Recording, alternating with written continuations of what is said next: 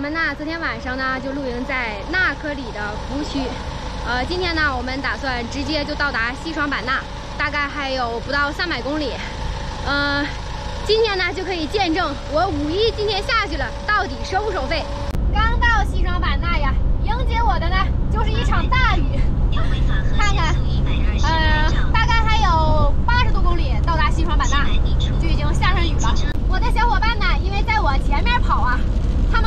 前面应该出事故了，呃，堵了很长的车，所以呢，我们打算呢，呃，提前下高速走国道。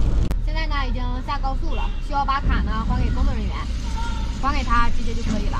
不知道啥原因呢，在这块儿，呃，让我们稍等，说查实一下，说已经超过二十四小时了。那我们一千多公里，二十四小时的情况下，那也开到这儿也应该正常啊。我不可能一千多公里，我一天就能开到这儿，对吧？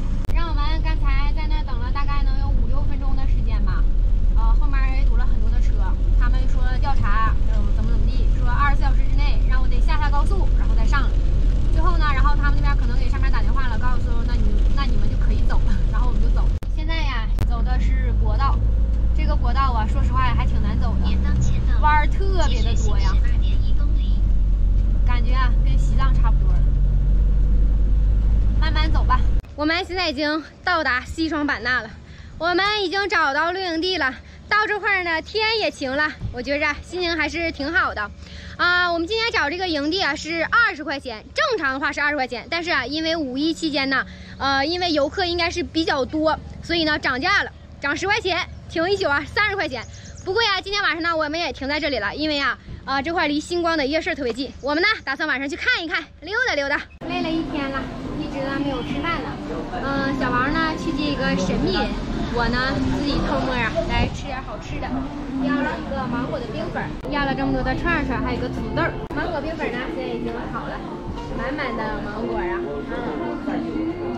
我们呢现在已经到达西双版纳了，嗯，我的使命呢也就完成了。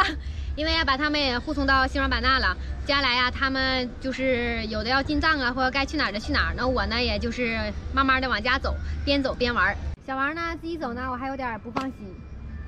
今天胖哥还来了，胖哥来怎么还不告诉我呢？我都不知道，他到的他到的前两天才告诉我啊，他来了。我最开始我我以为他跟我开玩笑。哎呦我的妈！胖哥你也是，胖哥你来你不提前告诉我我们这帮妹妹？我不愿意搭理你们。行，好样的。这回啊，去西藏呢，嗯，你还有个照应，然后我也放心了，正好，嗯，我姨也放心了，是不是？对，嗯呐，挺好的，没有事儿。一会儿啊，我们这一大帮啊，打算呢去吃点饭，西双版纳的美食。豆包呢还没有吃饭，我先呀给豆包先喂点食，让他吃饱了。来吧。好吧，现在呢已经收拾完了。先把车里的灯给它关上，我们也就要出发了。今天的视频先跟大家分享这，我们下个视频见。